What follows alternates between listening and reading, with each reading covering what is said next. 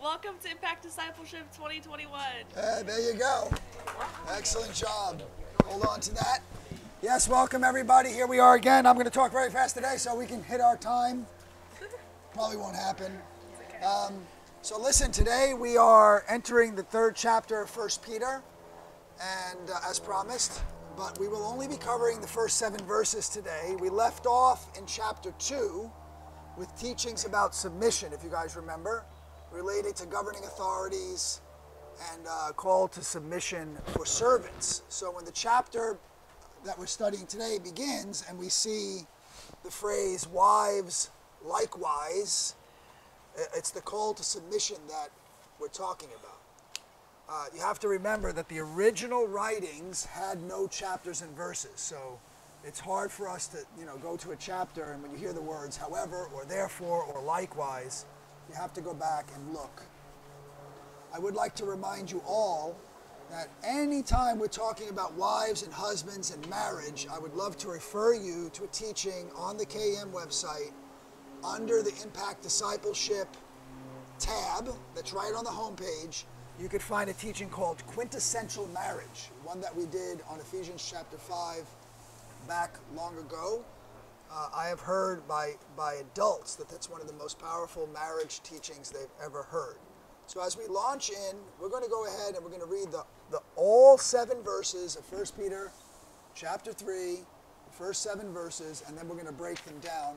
I'll warn you in advance uh, that probably 80% of the entire teaching we're going to do today is going to focus on just that seventh verse. I've discovered in my studies of preparing this that that seventh verse is so ripe and filled with information. It might be one of the most important verses in the entire Bible. That's a pretty powerful thing to say, I think, or a pretty bold thing to say. So go ahead, Katie. Launch us away. Take that mic right there. First seven verses, First Peter chapter 3. Wives, likewise, be submissive to your own husbands, that even if some do not obey the word, they without a word may be won by the conduct of their wives. When they observe your chaste conduct accompanied by fear, do not let your adornment be merely outward, arranging the hair, wearing gold, or putting on fine apparel. Rather, let it be the hidden person of the heart, with the incorruptible beauty of a gentle and quiet spirit, which is very precious in the sight of God. For in this manner, in former times, the holy women who trusted in God also adorned themselves, being submissive to their own husbands, as Sarah obeyed Abraham, calling him Lord, whose daughters you are if you do good and are not afraid with any terror. Husbands likewise dwell with them with understanding, giving honor to the wife as to the weaker vessel, and as being hers together of the grace of life, that your prayers may not be hindered. There you go. Thank you so much. Father, we come before you. We thank you so much for today as we enter this uh, third chapter of First Peter, that you be with us and illuminate minds and hearts in our teaching called His Eyes Are on the Righteous. And we'll call this part one. Chapter three may be a part two and a part three. I'm not really sure how long it's going to take us to get through this chapter, but we'll at least call this part one. And as we launch into the uh, the first two verses, wives, remember, likewise be submissive to your own husbands, that even if some do not obey the word, they without a word may be won by the conduct of their wives when they observe your chaste conduct accompanied by fear. This is not the only place in the scriptures we, we see the teaching about wives being submissive to their husband. There's a lot of misunderstanding about what that means. Again, I'll refer you to quintessential ma- marriage. Uh, gives a good teaching on that. Um, but this is the one place where we see the potential fruit of the conduct of a wife. Here you'll notice the wife uh, can win over a husband. So what do you think that's talking about? It's not talking about you know, the finding favor and just having a good marriage. It's talking about a, a potential husband who's not in the faith, who's, who hasn't come to the knowledge of the Lord. The very conduct of the believing wife could win over the husband. Um, and when, when they say what that, when, when the author says what that conduct looks like, he uses the phrase chaste conduct accompanied by fear. So let's let's talk through what some of these things mean. If you uh, turn your Bibles to 1 Corinthians chapter 7, verse 12 and through 16. Jenna, why don't we go ahead and read that? 1 Corinthians chapter 7, 12 to 16. We see a little bit of detail written by the Apostle Paul about a, wife's submission and how that might be, or a wife's conduct, how that might affect an unbelieving husband. Go ahead. To the rest I say this I, not the Lord, if any brother has a wife who is not a believer, and she is willing to live with him, he must not divorce her. And if a woman has a husband who is not a believer, and he is willing to live with her, he must not divorce him. She must not divorce him, for the unbelieving husband has been sanctified through his wife, and the unbelieving wife has been sanctified through her believing husband. Otherwise, their children would be unclean, but as it is, they are holy. But if the unbeliever leaves, so it be so. The let it be so. The, the brothers or the sister is not bound in such circumstances. God has called us to live in peace. How do you know, wife, whether you will save your husband, or how do you know, husband, whether you will save your wife? So you see, of course, here it goes both ways, right? A, a husband and wife um, living with an unbelieving spouse can, by their conduct, actually bring the other to the faith. And so uh, it's important. It doesn't say, you know, there is a there is an accommodation here where Paul says if the unbelieving spouse wants to leave, and there's nothing you can do about it, uh, I'm not going to bind you up with the requirement to stay with a spouse who's not a believer who wants to bolt. You know, you're not going to be bound up to that. So if you want to let them go, you can let them go. Better choice let your conduct and your life be such a witness to them that it transforms them. Um, of course, like mentioned earlier, submission is a main, a main area of Ephesians chapter 5, this the area of scripture often used about instructions to married couples. In that area, in, in uh, verses 21 to 24, it says, submitting one, first it says this, very important, submitting one to another in the fear of God. So you don't go off on a deep end when you get to the next section where it says, Wives, submit to your own husbands as to the Lord. Uh, realize the verse that came before says, Submit one to another. It's talking about mutual submission of believers inside the faith, including inside of marriage. It's not just wives submit to your husbands, but it's the submission nature of submission inside of marriage that will allow a wife to submit to her husband, meaning the husband is already submitted both to his wife and to the Lord. And then it says, For the husband is the head of the wife, as also Christ is the head of the church, and he is the Savior of the body. Therefore, just as the church is subject to Christ, let so wives be to their own husbands in everything. Uh, that's not a bad thing, right? That's a good thing. You know, we've covered this in the past where we see the importance if um, we look back at a, what we covered in this letter already, back in chapter 2, verse 12. It says, having your conduct honorable.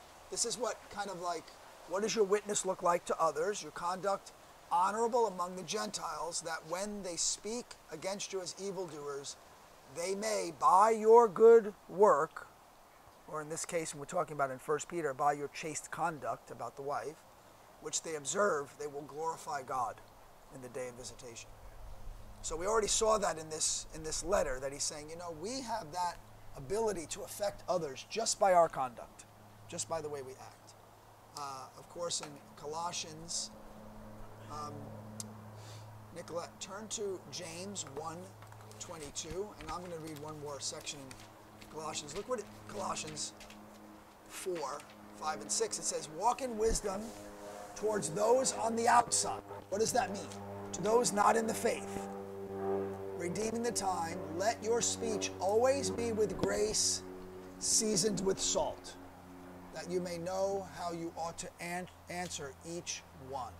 When you come into conflict, when you come into contact with a non a non-believer, even someone who might be aggressive against you. God says, let your speech be with grace. Grace means supernatural empowerment. Let, let your words carry the grace of God. And then it says seasoned with salt. Of course, you know, in the first century, um, salt was for everything, right? Uh, flavor, preservation of food. They didn't have ice, ice uh, machines and refrigerators and freezers to preserve food. The, the food was, the food was um, preserved with salt.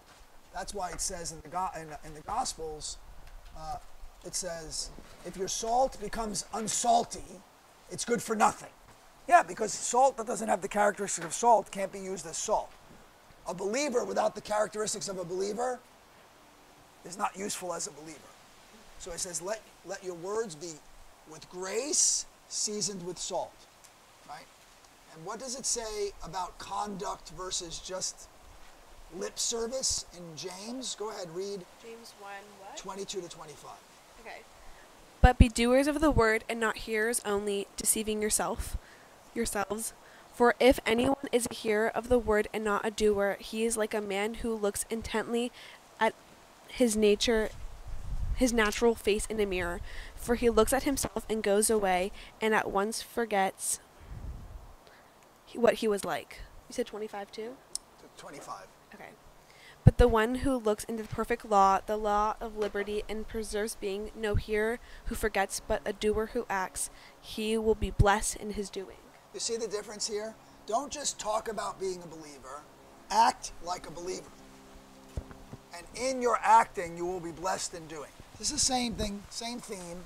You know, just what Peter is saying in, in uh, the third chapter here is that specifically when it comes to wives, their conduct as believers will have great power and effect over their husbands. That's, that's what he's saying. Then he goes on in the next two verses, 1 Peter 3, 3 and 4, and he says, now he's addressing the woman again. Boy, does this have relevance for us today more than ever.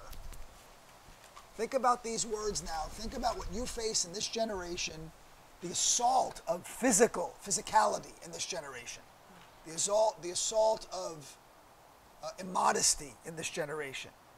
Listen to these words. Do not let your adornment be merely outward. And then he, he talks about things today which we would think is very classy or even no big deal, right? He says arranging the hair, wearing gold, putting on fine apparel. You know, today he would say, you know, posting uh, immoral, um, ex- exposing pictures of yourself in positions and moves and dances and, and a- outfits that make you look like something I won't say here. Don't, don't let that be what people see in you. Rather, let it be the hidden person of the heart with the incorruptible beauty. Why does he say that? Because that outward stuff, that sexiness or that bare chest of a man and his muscles, that stuff is corruptible. It's all going away. It's all just here today and gone tomorrow. No, let the real beauty be incorruptible beauty. And then he says to the woman, you know what that looks like in a woman? A gentle and quiet spirit, which is very precious in the sight of God. So let's talk about outward versus inward. Um, Elijah. Uh, Matthew's Gospel, the 23rd chapter. Matthew's Gospel, the 23rd chapter. You know, and uh, starting uh, just two verses, 27 and 28. You know, Yeshua, when he was um, confronted by the Pharisees, the holy men, they looked a certain way outside, didn't they? They had the holy robes, they had the long tassels, they had the head coverings. Man, did they look holy. Marching around in the streets, commanding all sorts of like respect. But what, what does he say to these, these leaders? Read 23, 27 to 28. Woe to you, scribes and Pharisees, hypocrites! For you are like whitewashed tombs, which indeed appear beautiful outwardly, but inside are full of dead men's bones and all unclean uncleanness. Even so, you also outwardly appear righteous to men, but inside you are full of hypocr- hypocrisy and lawlessness. You see that? You look a certain way on the outside, but on the inside you're ugly. You're dirty. Outside you look white, like a whitewashed tomb. That's like saying, oh, you can make a grave look so beautiful on the outside, but all I'm telling you is that what's on the inside is a dead person. That's what hypocrisy looks like. So, you know what Peter says to the woman, don't let that be who you are. Don't let your entire nature be, be um, defined by your outward appearance or your outward beauty. That's corruptible. That's fading away. That means, that means nothing, right? But rather, let it be about your heart. Uh, who's up next to read? Isaiah. Why don't you turn to Proverbs chapter 4 and verse 23. And I'll read you this short verse from 1 Samuel 16 7. Talking about David, King David, right? Um, you know that God was seeking out a king, uh, and David's dad had a lot of uh, sons. David was the young one, the one out in the field, and uh, he marched all the sons in front of Samuel and said, Is this the one that God's going to anoint as the king? Look at him. He's strappy, he's big, he's good looking. And this is what the Lord said to Samuel. But the Lord said to Samuel, Do not look at his appearance or his physical stature because I refused him. I refused that. That's not what I'm judging. For the Lord does not see as a man sees. A man looks at the outward appearance, but the Lord is looking at the heart, the hidden person of the heart. Right? What does the heart tell us about people? Isaiah, Proverbs 4, 423. Can you read that?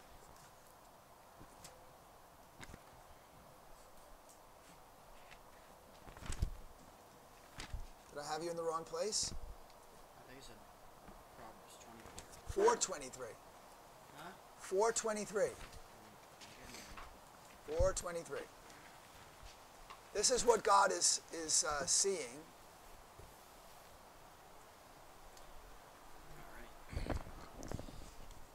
Keep your heart with all diligence, for out of it springs the issue of life. That's, oh, sorry. I, yeah, I meant to, okay, yes. 423 is what I was referencing when, I'll read it from Luke. Yeshua said this in Luke's gospel. He said, A good man, so you were in the right place, a good man out of the good treasure of his heart brings forth good. An evil man out of the evil treasure of his heart brings forth evil. It's not what he looks like on the outside. It's what's inside his heart. That's that's what's really inside of him. And then it says, quoting this Proverbs 4:23, "For out of the abundance of the heart, the mouth speaks." What is God? What in what is incorruptible beauty, according to according to God? A gentle and quiet spirit. Proverbs 15:1 says, "A soft answer turns away wrath, but the harsh word stirs up anger." Philippians 4:5 says, "Let your gentleness be known to all men, for the Lord is at hand." And Proverbs 17:27 and 28 says, "He who has the knowledge spares the words, and a man of understanding has a calm spirit. Even a fool is counted wise when he holds his peace. When he shuts his lips, he is considered perceptive. Yeah, don't just jump and speak. Have a quiet and gentle spirit. That was what Paul is saying, uh, Peter is saying in, in, his, in his verse, that what God is looking at for a wife is a calm and gentle spirit. Someone that's going to hold her peace, not, not, be quick to speak. You're going to see, you might say, well, don't, don't you have a right to speak? Wait till you see the power what I think is one of the, the greatest traits of a woman, the greatest traits of a wife, even possible, is coming in these verses. For you young men that are listening, you're going to realize there is no greater asset in a wife than what's, come, what's going to be taught to you shortly. And why he's saying this calm spirit is so necessary in a woman. Right? As we go on to verses 5 and 6, he gives us a comparison. He says, by the way, this is not an unusual request in the New Testament. It says, for, for in this manner, in former times, holy women who trusted in God uh, also adorned themselves. You just said, don't adorn yourself on the outside, adorn yourself on the inside. That inside is about your heart. It's about what you look like on the inside. He says, This is not a new request because holy women in the past adorned themselves. Listen, listen what he phrased being submissive to their own husbands. And then he gives us an example as Sarah, who obeyed Abraham, calling him Lord. And then he brings it back to the New Testament and he says, Whose daughters you are, if you do not if you do good and not afraid of terror. So, where did Sarah call Abraham Lord? You could write this down. Genesis 18, verses 9 to 12. This is when uh, Abraham is being questioned about his wife. Where is, where is Sarah, your wife? She's here in the tent. They have this conversation. Um, and he said, I will certainly return to you according to the time of life. And behold, Sarah, your wife, will have a son. Sarah was listening in the tent behind him.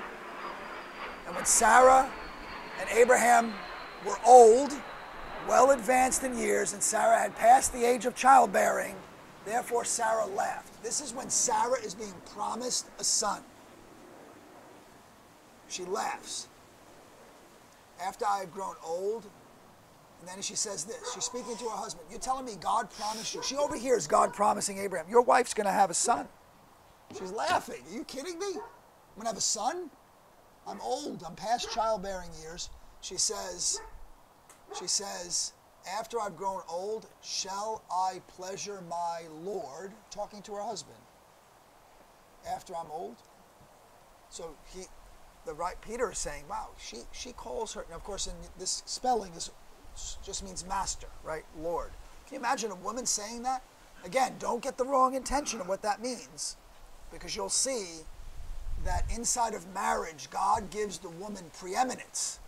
He doesn't mean submission lower, he means preeminence. And, and you're going to see what I, what I mean by that. He also has this phrase in the um, in this fifth verse that says, um, or the sixth verse, 1 Peter 3 6, uh, calling you all daughters. Daughters of who? Daughters of Sarah and Abraham. You today sitting at this table, why are you a daughter of Sarah or Abraham and Abraham? Well, because Abraham, through Sarah, had Isaac, and Isaac is the seed of promise through whom all believers are named. By the way, it doesn't mean your birth line has to come from there. As soon as you become a believer in Christ, you are grafted into the seed of Abraham. It says in Galatians 3:29, if you are Christ, then you are Abraham's seed and heirs according to the promise. It doesn't matter what your bloodline says. As soon as you confess Christ, your lineage in the faith comes through Abraham through Sarah. Therefore, you women sitting at the table and everybody listening, you are daughters of Sarah. That's why Peter says that. Of course, we're going to finish one other little section before we get to the, the length of what we're going to spend our time today. And uh, he finishes this uh, sixth verse saying, Do the right thing. You have nothing to fear if you're doing the right thing. Many of you might look on the world today and say, What's going to happen to us? Um, is evil rising in the world. And God says, Don't worry about it. Your job is one thing do the right thing. You have no fear to live under if you're doing the right thing. It says this also in Romans 13:3, for rulers are not a terror to good works, but to evil. The rulers are really godly rulers are just there to bring terror on those doing evil.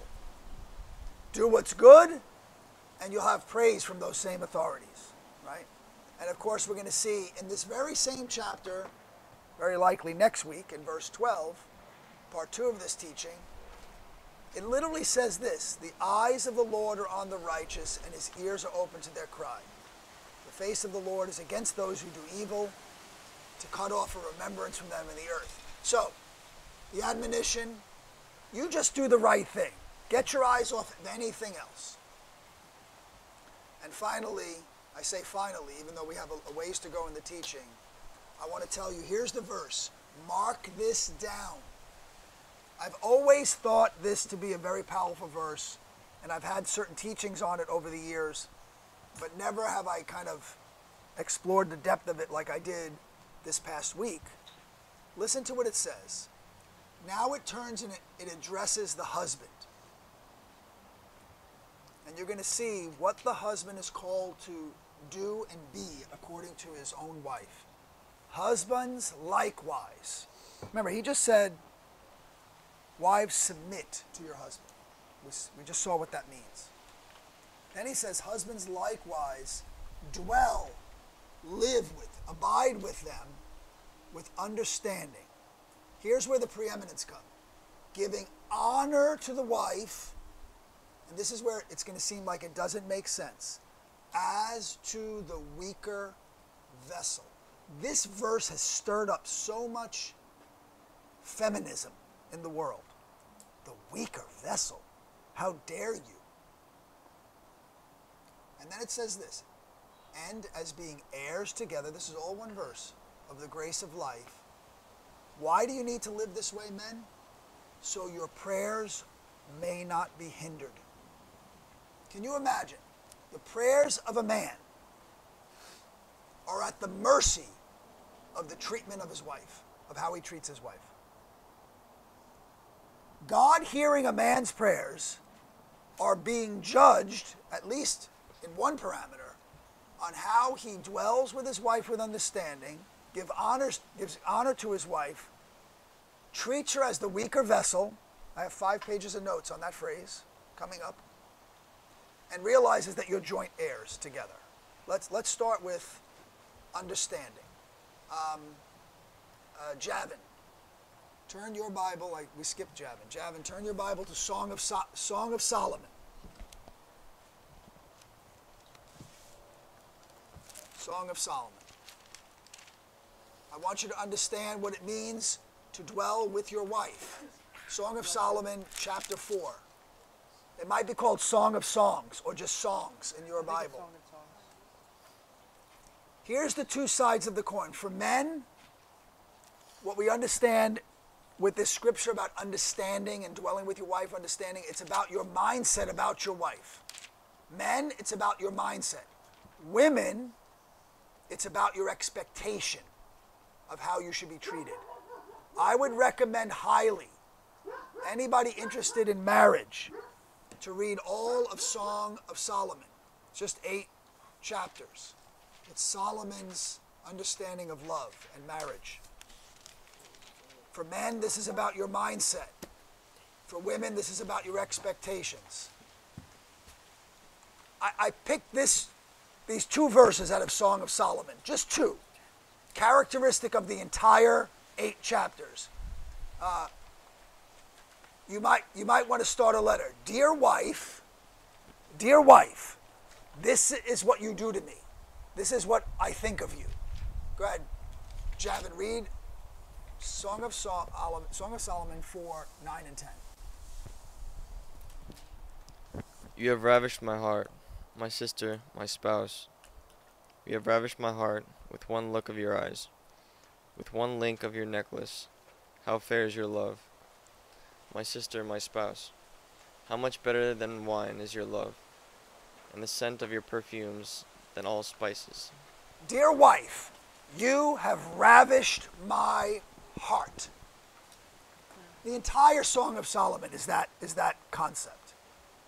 Husbands, dwell with a wife with this in mind. Wife, you have ravished my heart.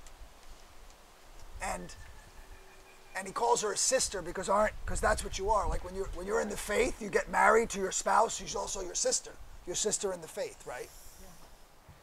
Okay, how do you how do you how do you do this? Husbands, love your wives and don't be bitter towards them. Colossians 3:19. For all of us, let no corrupt words proceed out of your mouth, but only what is good and necessary necessary to impart grace. Ephesians 4:29. Intimacy. Now concerning these things which you wrote to me, it's good for a man not to touch a woman. Nevertheless, because of sexual morality, let each man have his own wife, and let each woman have her own husband. Let each husband render to his wife affection due her. Husband, you owe your wife affection. And likewise also wives to her husband. Wife does not have authority over her own body, but the husband does. And likewise, a husband does not have authority over his own body, but a wife does. Do not deprive one another except for a consent of time, that you may give yourself to fasting and prayer and come together again, so Satan does not tempt you for lack of self control. 1 Corinthians 7 1 to 5. This is how you dwell with each other, especially a husband to a wife, with understanding. And if we go back to Ephesians chapter 5, we won't read the whole thing again. Again, I'll refer to you the teaching, quintessential marriage.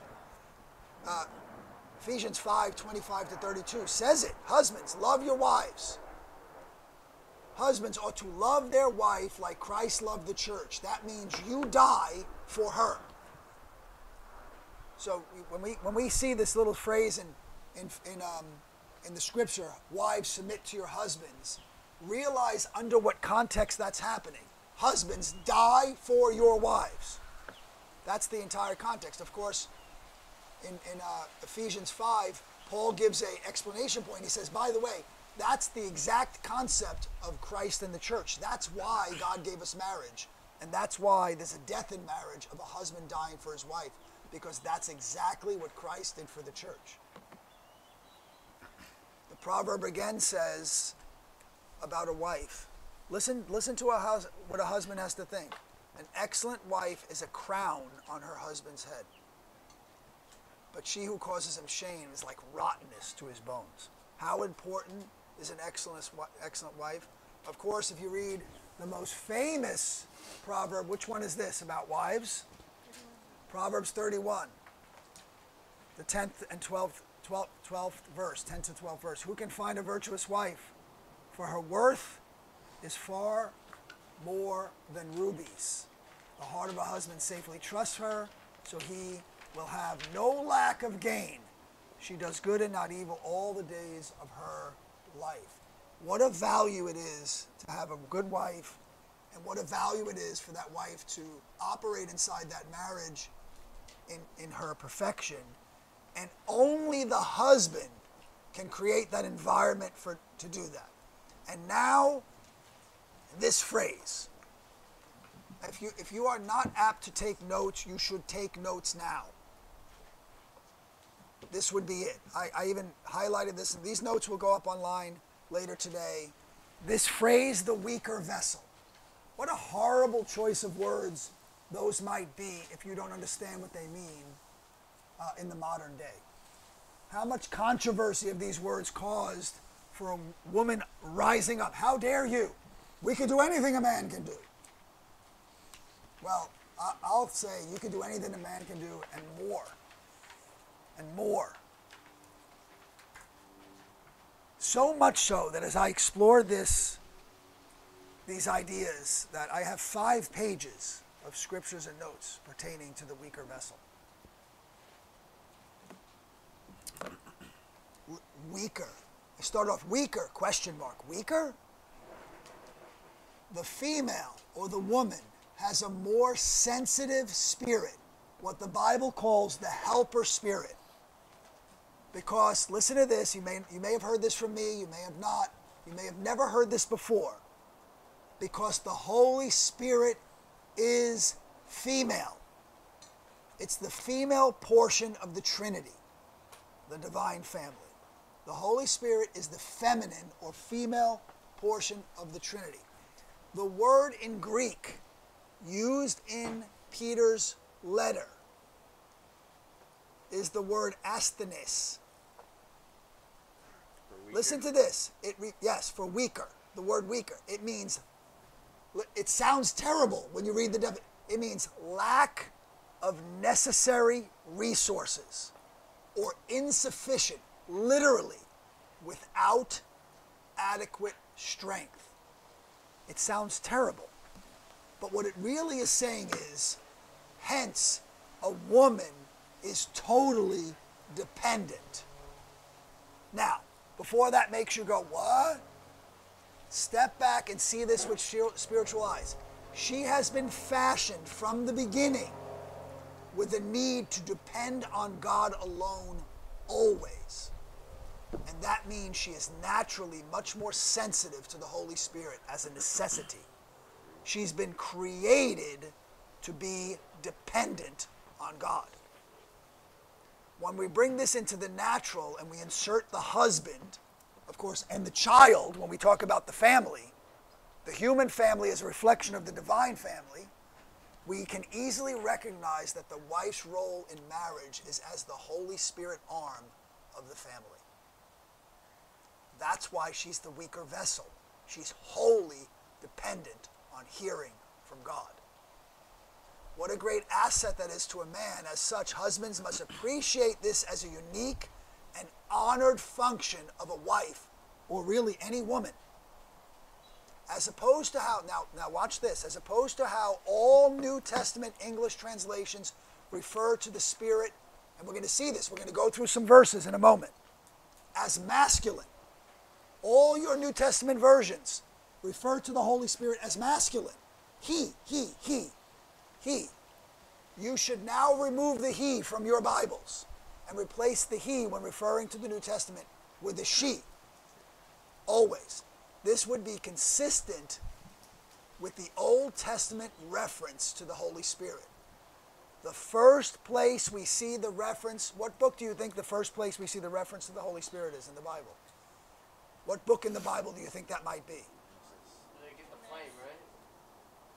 Genesis, the youngest person at the table. Genesis, the second verse in the Bible. I'll read it to you. The earth was without form and void, and darkness was over the face of the earth. And the Spirit of God was hovering over the waters. When you look up that word in Hebrew, ruach, it says feminine noun. It's a feminine noun. That's not an accident. So when Adam was in need of a companion, God had to extract, by the way, did God create a female or did he extract the female out of Adam? He extracted the female out. Why? Because God created Adam with both male and female DNA. Do you know that? That a man has male and female DNA, XY chromosomes and a woman only has female DNA. She doesn't have any male DNA. A man has both male and female, but in order to accentuate the feminine DNA, he extracted the woman out of the man. So turn your Bibles to who's up next? Daniel? Genesis chapter 2. I want you to read 18 to 22. You got it? To what? 18. Genesis 2, 18 to 22. I want you to hear this language because it's important when we, when we, when we go to the New Testament and we see scriptures about the Holy Spirit and you become more comfortable from now on forward inserting she instead of he every time you see, New Te- see the Spirit. Go ahead. Daniel. I'm ready. Go ahead. And the Lord God said, It is not good that man should be alone. I will make him a helper comparable to him. Out of the ground the Lord God formed every beast of the field and every bird of the air, and brought them to Adam to see what he would call them. And whatever Adam called each living creature, that was its name. So Adam gave names to all cattle, to the birds of the air, and to every beast of the field. But for Adam there was not found a helper comparable to him. There wasn't a helper comparable to him. Go ahead.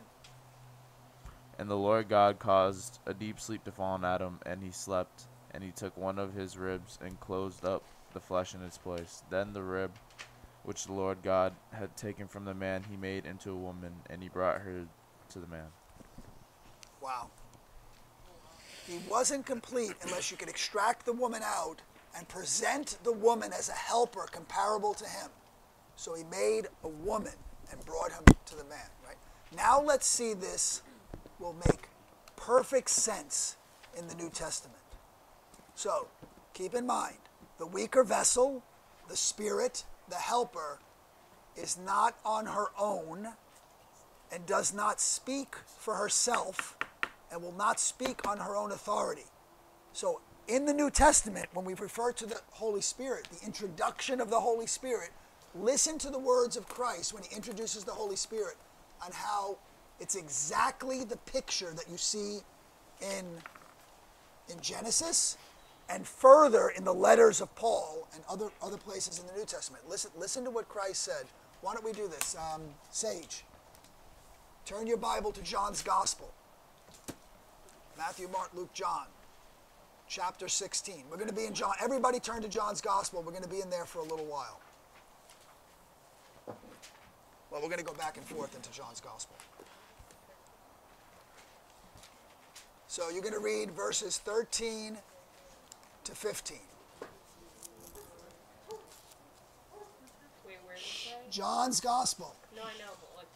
No, it's in the end, back of the Bible. You're in the front. Like No, New Testament. This is why we have paper Bibles. What chapter? Chapter 16, verses 13 to 15. I know. We have paper Bibles. Look. Go ahead. Matthew chapter 16. You need to have the, the mic that's there. Yeah, that's why I gave it to you. You have to hold it in your hand. No, John's microphone. Gospel. You said Matthew, Mark, Luke, John. Yes, John's Gospel is the fourth Gospel Matthew, Mark, Luke, John. It's after Luke. This is why. 16. 16, 13 to 15. Listen to the language of the role of the Holy Spirit. Pick up the mic, please.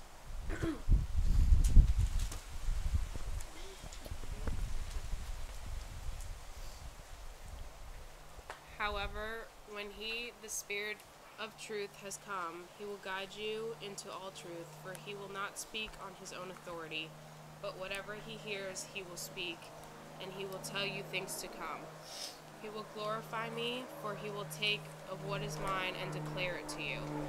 All things that all things that the Father has are mine. Therefore I said that he will take of mine and declare it to you. A little you said till 16. Yeah, right? that's it. 15. So you see this this Yeshua is talking about the Holy Spirit, the Spirit of the truth, and you see how it's always he, he, he, he, right? It really should be she, because the Spirit is the feminine part of, of, of the Trinity. We'll talk about that in discussion. But but I want you to see the nature. The Holy Spirit does not speak on her own authority. Right? Now, you might say, oh, that's terrible. Weaker vessel, right? No, don't see it that way. See it as an equal arm of the Trinity fulfilling the exact role that the Holy Spirit is supposed to fill. It's not a negative thing. When you stay in your zone of what you're created for, the more powerful you are, right? Now, don't these following scriptures make more sense in the New Testament when you see this perspective and think of a woman as a Holy Spirit? They should now seem powerful, not offensive to women. When you think that the Holy Spirit doesn't speak on her own authority. Okay? Look, I'll read it to you. These scriptures I'm going to read to you, this scripture specifically in 1 Timothy 2, is taken so offensively by women in the modern day. But if you insert Holy Spirit for woman here, you would not think that anymore. I do not permit a woman to teach or have authority over a man, it says. I desire, therefore, that men pray everywhere, lifting up holy hands without wrath and doubting. In like manner also, that women adorn themselves in modest apparel with propriety and moderation, not with braided hair or gold pearls or costly clothing, which is proper for a woman professing godliness with good works. Let a woman learn in silence, which is submission, and do not a woman permit a woman to teach or have authority over man, but to be in silence. For Adam was formed first, and then Eve. Now, why would Paul, writing to Timothy, talk about this woman's silence and submission, and then talk about Adam and Eve? Because he was referencing the feminine being drawn out of the man, the spirit being drawn out, just like Christ said in, in John 16 the spirit never speaks on her own, but waits to be told what to say by the Father. That would never, you would never think that's offensive in, in the Trinity, but somehow we contract it down into the earth and women get offended. It's not an offense, it's a mandate. It's powerful, right? And so now you can see the physical manifestation in John 16 that she doesn't speak on her own authority. She waits to hear. And then you continue in 1 Corinthians 14. Who's up next? Grace, can you turn to 1 Corinthians 14? Listen to this now, right? So when you when you get the idea, she will not speak on her own. Going back to John's gospel, if I insert the she, the she instead of he for Holy Spirit, she will not speak on her own, but whatever she hears, she will speak, and she will tell you the things to come. She will take of what is mine and declare it to you. Can you imagine in marriage if the relationship between a husband and a wife was that? Hey, she's going to tell you what's going to happen. You should listen. Right? My wife and I have this conversation all the time. She goes, "You know, you know, you should listen." It's very rare that she's incorrect. Right? Very rare when she's in the spirit that she's incorrect. Right?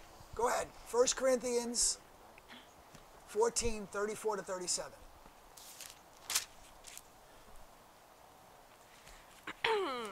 Let your women keep silent in the churches, for they are not permitted to speak, but they are to be submissive, as the law also says. And if they want to learn something, let them ask their own husbands at home, for it is shameful for women to speak in church. Or did the word of God come originally from you, or was it you only that it reached? If anyone thinks himself to be a prophet or spiritual, let him acknowledge that the things which I write to you are the commandments of the Lord. Do you see how bad that sounds? It sounds horrible. But but if I but if I insert if I insert Sounds horrible. That is not correct. I insert what you're learning now about the Holy Spirit, and he says, as the law also says, what law? There's a divine family. The Holy Spirit is part of that family, doesn't speak on her own. Right? Let him acknowledge that the things I write are actually the commandments of God. Does that mean a woman doesn't speak? No. She hears from God and speaks to her husband. That's what it's saying. It's not an offense. It's if, and, and I know many of you here, like I could see the, the young, especially down at the table with the commentary, you read those verses and you immediately take offense to them, like somehow it's putting a woman in a lesser position. It is not a lesser position. It's a specific position. And when you're thinking about, uh, you know, a woman is not created to be a father, she's created to be a mother. A woman is not created to be the father authority, authority, she's created to be the spirit authority. That's what it's saying. And if a woman will take what is Yahweh's and declare it, what a help that would be to her husband. The spirit is the helper. Like it says in Genesis 2:18, when God extracted a woman out of a man, he said, "I will make him a helper comparable to him." So let's turn our Bibles back to John's gospel. Shiloh. John's Gospel. You should be there already. I am in John's Gospel. Okay, let's go to John 14, Already there. 15 to 17. Mm. If you love me, keep my commandments, and if and I will pray the Father, and he will give you another helper, that he may abide with you forever. The Spirit of truth, whom the world cannot receive, because it neither sees him nor knows him, but you know him, for he dwells with you and will be in you. You see, talking about the Holy Spirit, again, you see all the masculine language. It should really She. be she. The helper is Eve. The helper is Eve. But here it's called the Spirit of Truth. And the reason why the world can't handle it is because you can't see this Spirit. It's something that's dwelling inside of you. Okay? Um, Keep reading. yeah, why don't you skip ahead to uh, chapter 15, verses 26 and 27. Um, Same, same John's Gospel, 15. Yeah. But when the Helper comes, whom I shall send to you from the Father, the Spirit of truth who process proceeds from the Father, he will testify of me. And y- and you also will bear witness because you have been with me from the beginning. So the Spirit of witness, the Spirit, the Holy Spirit bears witness. The Holy Spirit testifies. The Holy Spirit testifies. Isaiah, uh, Shiloh, stay there. Go, go to chapter 16. What part? Uh, 7 to 11. 7-Eleven?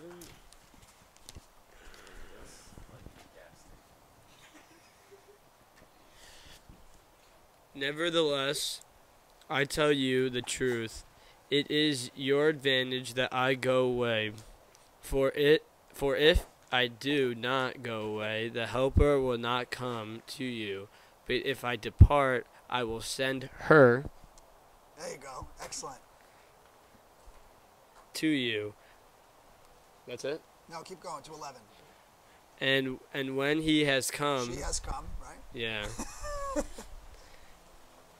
he will convict the world of sin and of righteousness and of judgment of sin because they do not believe in me, of righteousness because I go to my Father and you see me no more, of judgment because of the ruler of this world is judged. to the spirit of conviction. So you see all of the roles of the Holy Spirit witness and conviction, teacher, truth.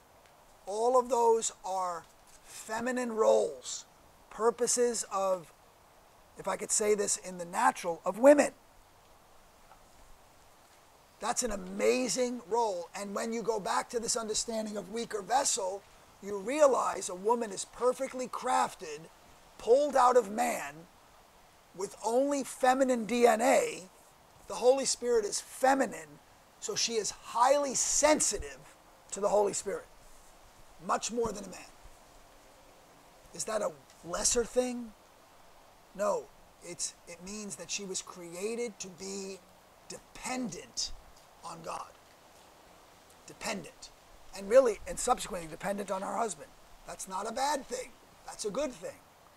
I hope, I hope this is making sense. Now, to clarify, because those of you who want to jump to uh, Josh, turn your Bible to Romans chapter 8. He uses the phrase heirs together. Heirs together. Just so you don't think that somehow lesser, somehow this puts a woman in an underneath position instead of a side by side position, he uses the phrase heirs together. Read verses uh, 15 to 17, Romans chapter 8.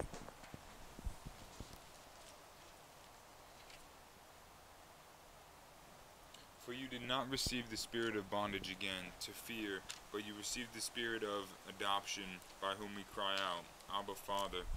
The Spirit Himself bears witness with our spirit that we are children of God, and if children, then heirs, heirs of God and joint heirs with Christ. If indeed we suffer with Him, that we may also that we may also be glorified together. You see this joint heirs thing? He's talking, of course, to the children of God. He's not talking about gender here. And it's really no different. It's really no different than um, when we saw uh, in Song of Solomon, where Solomon called his wife his sister, right? Because he realizes that we're, we're children under the same God, and therefore we're, he, his wife is both his wife and his, and his sister. Uh, your wife is a joint heir. She's an equal heir through to the grace of God, to the throne, to the inheritance, right? Okay, now we're going to swing towards the end. Almost done. We're going to land this very soon. Uh, it talks about all this happening uh, so your prayers are not hindered. It's very clear uh, in uh, 1 Peter 3 7 that if you don't dwell with your wife in all understanding, your prayers will be hindered. Uh, Cyrus, if you would turn your Bible to Mark 11, uh, verse 22 to 24. We're just going to spend a few minutes talking about the different things that can hinder God hearing your prayers. You should write these down. Okay? We just already saw a marriage crisis. Men not treating their wives the right way. Prayers hindered. In James 4 2 to 3, it says, asking amiss or selfish motives. You lust and do not have. You murder and covenant and cannot obtain. You fight war, yet you do not have because you do not ask. And when you do ask, you do not receive because you ask amiss. So you could spend it on yourself. Number, number two, what hinders your prayers? Asking with the wrong motives. What am Right. I reading? Asking, uh, what's number three? Cyrus, verses 22 to 24. Mark chapter 11. So Jesus answered and said to them, Have faith in God. For assuredly I say to you, whoever says to this mountain, Be removed and be cast into the sea, and does not doubt in his heart, but believes that those things that he says will be done, he will have whatever he says. Therefore I say to you, whatever things you ask when you pray, believe that you will receive them, and you will have them. Yeah. Number three, asking without doubting. Faith to believe. It says in James, if any of you lacks wisdom, let him ask God, who gives liberally without reproach, and will be given. But let him ask in faith without doubting. For he who doubts is like a wave of the sea, tossed by the wind. For let no man suppose he will receive anything from the Lord if he's double minded. Wow. And unstable in all his ways. That's ask without doubting. Number four, Mark 11. Oh, Cyrus, you might as well continue. You're in, you're in Mark. Continue uh, 25 and 26. And you can turn your Bible to Psalm 66. And whenever you stand praying, if you have anything against anyone, forgive him, that your Father in heaven may also forgive you your trespasses. But if you do not forgive, neither will your Father in heaven forgive your trespasses. Don't ask for anything from God if you have unforgiveness in your heart. What's another blockage? Unrepentant hearts. Psalm 66, 16 to 20. Come and hear all you who fear God, and I will tell what he has done for my soul. I cried to him with my mouth, on, and high praise was on my tongue. If I had cherished iniquity in my heart, the Lord would have listened. But truly God has, has listened. He has attended to the voice of my prayer. Blessed be God, because he has not rejected my prayer or removed his steadfast love from me. Did you see that? If I regard iniquity in my heart, the Lord will not hear me. Right?